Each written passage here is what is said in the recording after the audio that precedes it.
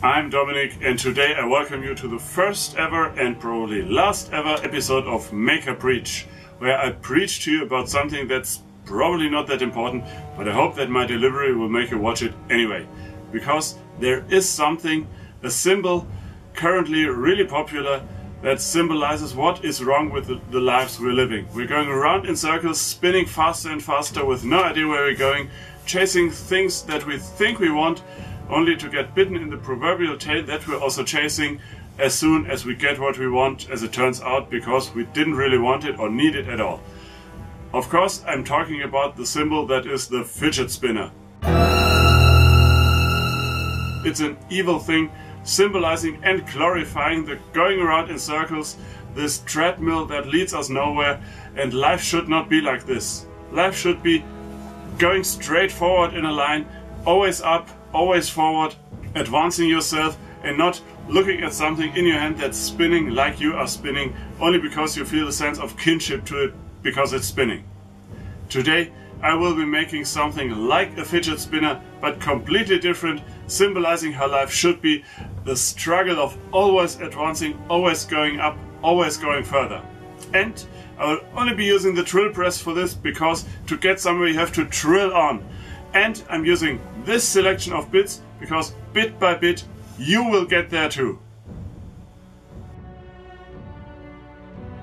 I'm starting out with a very small brad point bit to mark the center of the coming piece on both sides. Then, also from both sides, I should have started with a larger Forstner bit, although on one side I start with a smaller. So I start with a larger bit and go a few millimeters down, so later I have something to register against with this bit.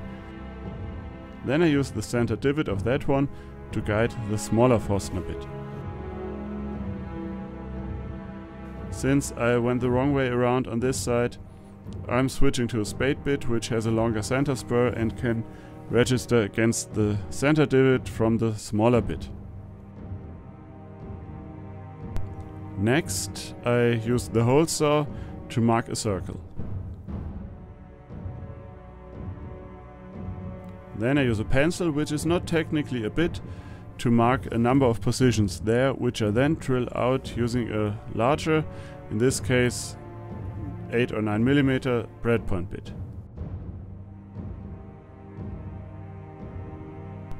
Once that is done, I again do it in the wrong sequence. I should have taken the hole saw and cut the piece out. What I did instead, and what I should have done after cutting the piece out, is taking the smaller Forstner bit and drilling through the thing, and then taking the larger ones and drilling their holes as deep as the bearings are wide.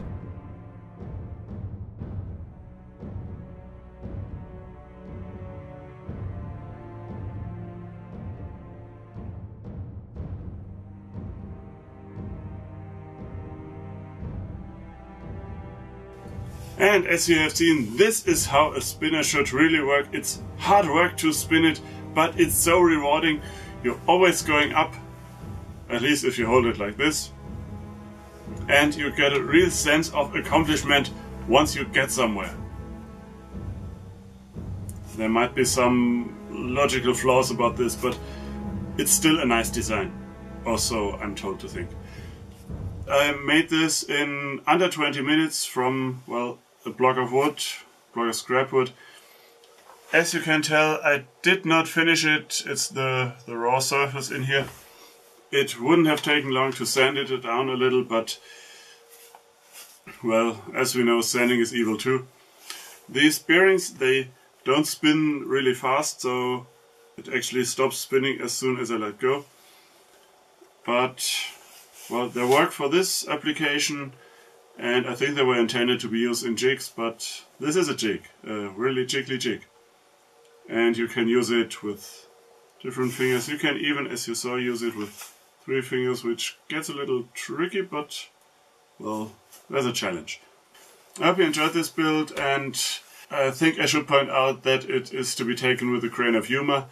I hope that was obvious. If it wasn't, you probably need to make one of those and climb up a little bit.